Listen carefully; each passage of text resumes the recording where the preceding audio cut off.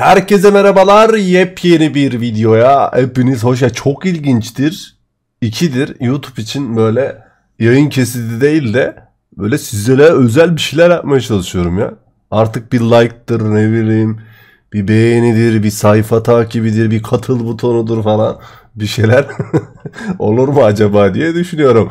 Hoş geldiniz yepyeni bir video. Bugün sizlerle FIFA 22'de en çok kullanılan kartlara bakacağız. Malum Black Friday'in içinde olacağız muhtemelen bu video yayınlandığında veya akşamında gelmiş olacak e, Black Friday 9'unda. Ben siz bu videoyu 6-7 civarlarında falan izliyorsunuz muhtemelen. İlk yayınlandığında bildirimler açıksa altta. O yüzden e, ilk bildirimleriniz açıksa hemen yayınlandığında izliyorsanız şayet. Ne dedim buralar, buralara gerek yok ya. Buraları koymayalım. Ee, sonracıma FIFA 22'de en çok kullanılan kartlar hangileri? Mevki mevki bakacağız hepsine. En sonunda da FIFA 22'de en çok kullanılan oyunculardan oluşan bir ilk 11 oluşturacağız. Acaba bakalım sizin kadronuzda bu en çok kullanılan oyunculardan hangileri? Kaç tanesi mevcut?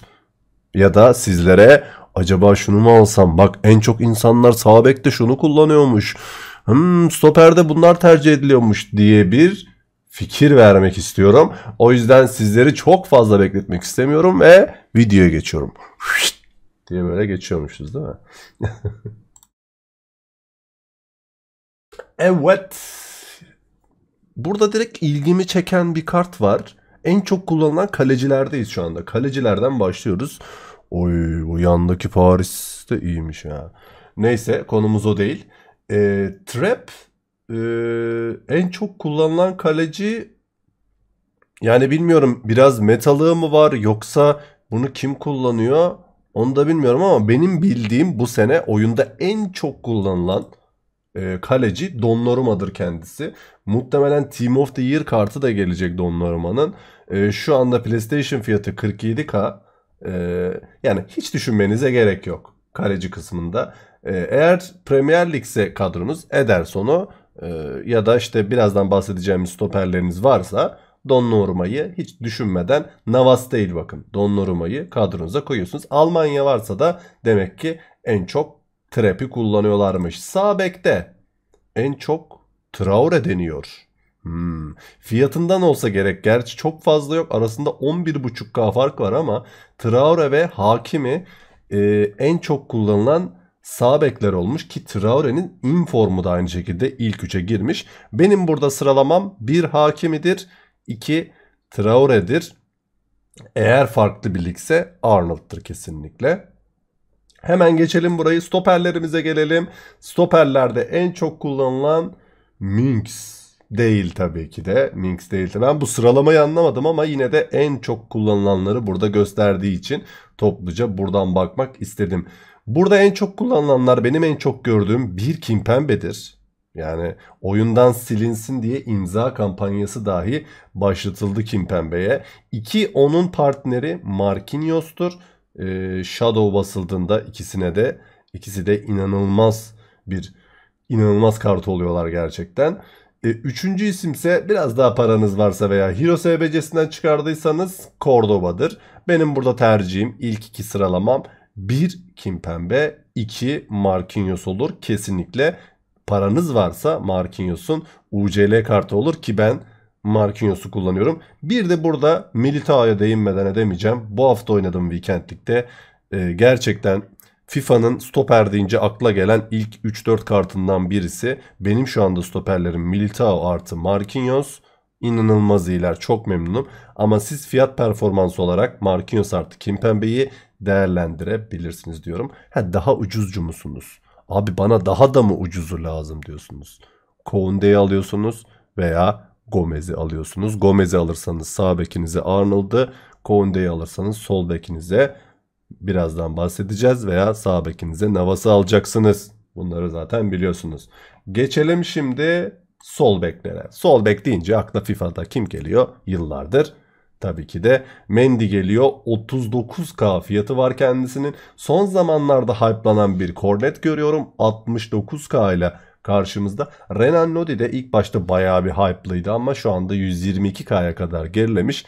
Burada bizden bir evlat var. Cancelo var. Onu da çok beğenerek artıcı kadromda oynatıyorum. Buradaki sıralamam 1 Mendy, 2 Renan Lodi.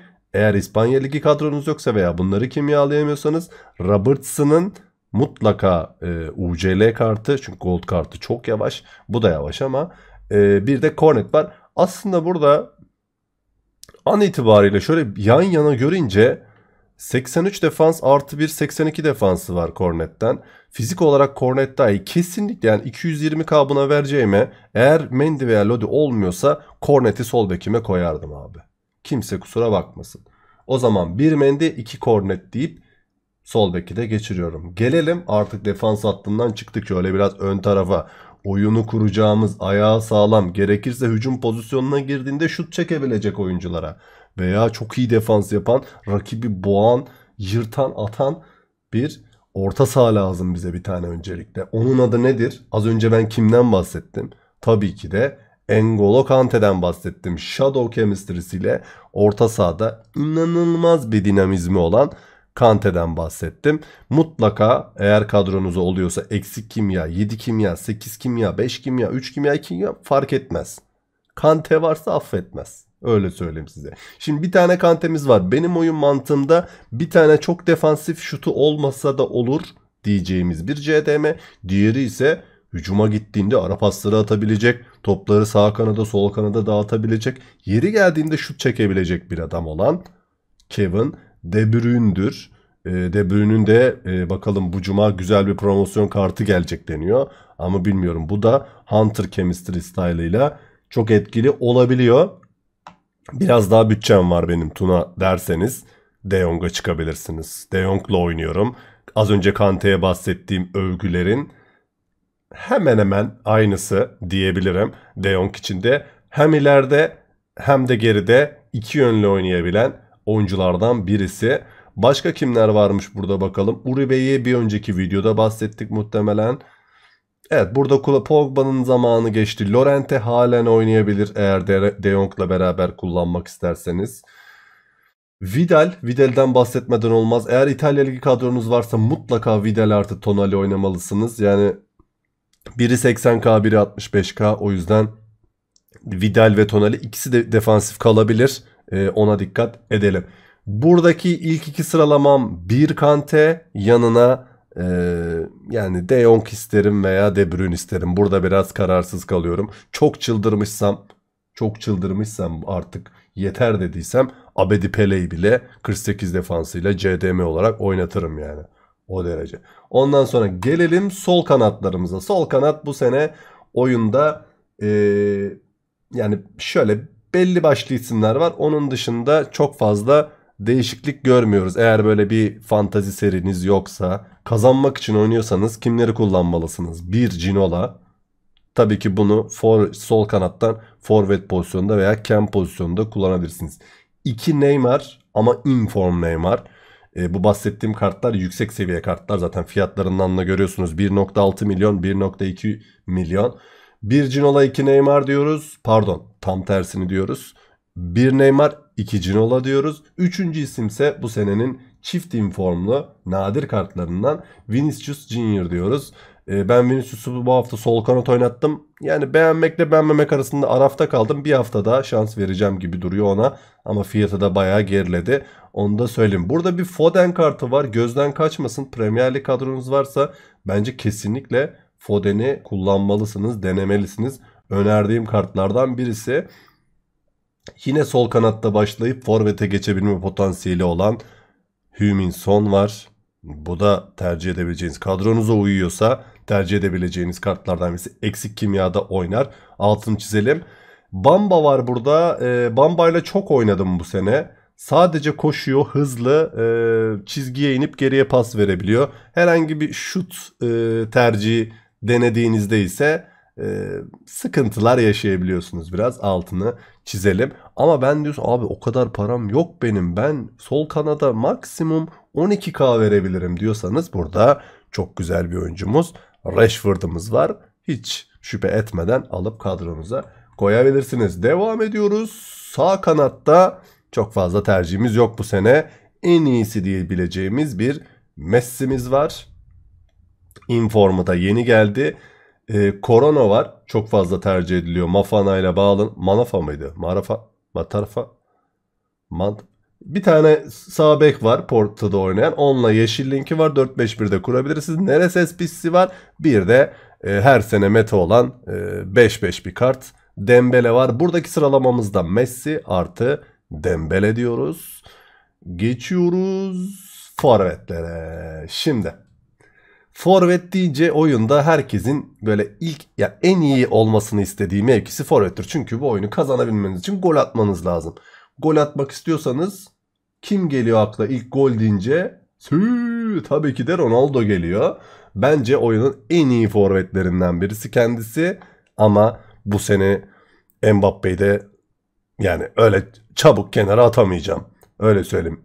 5 hafta veya 4 hafta Mbappe'yi sol kanatta kullandım Weekend'likte. Bu hafta Forvet'te oynattım. İnanılmaz bir oyuncu. Yani ayağına aldığı çoğu topu gol yapabiliyor. O yüzden Ronaldo abisinden bir müsaade almakla beraber Mbappe'yi birinci sıraya, ikinci sıraya da müthiş bir finisher olan, oyunda şu anda belki de e, en iyi gold card finishing'i olan e, Ronaldo'yu koyuyorum. Ama burada bir Keane var. Varsa paranız veya Hero SPC'sinden çıkardıysanız kesinlikle Keane'e de şans vermeniz gerekiyor. Onun dışında burada Werner'i falan görüyorum ama herhalde bir yanlışlık olmuş.